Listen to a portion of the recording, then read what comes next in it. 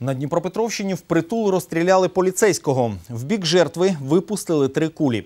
Резонансний злочин скоїли в місті Нікополь. Загиблим виявився 23-річний опер-уповноважений Владислав Лютий. Аби позбутися тіла, вбивці, а їх було двоє, загорнули жертву в поліетиленовий пакет і в багажнику позашляховика намагалися вивезти за місто. Завдяки пильності небайдужих свідків, які запам'ятали номери Тойоти, зловмисників затримали на одному з блокпостів. Підозрювані батько та син 56 та 35 років. Крім пістолета, з якого власне і вбили правоохоронця, в салоні іномарки знайшли автомат Калашникова.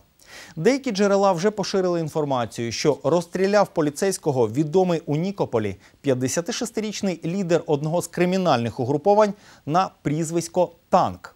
На карбі чоловіка кілька десятків років проведених за ґратами. За смерть правоохоронця тепер йому світить довічне загратування. Що стало причиною жорстокої розправи, в поліції поки що не розголошують.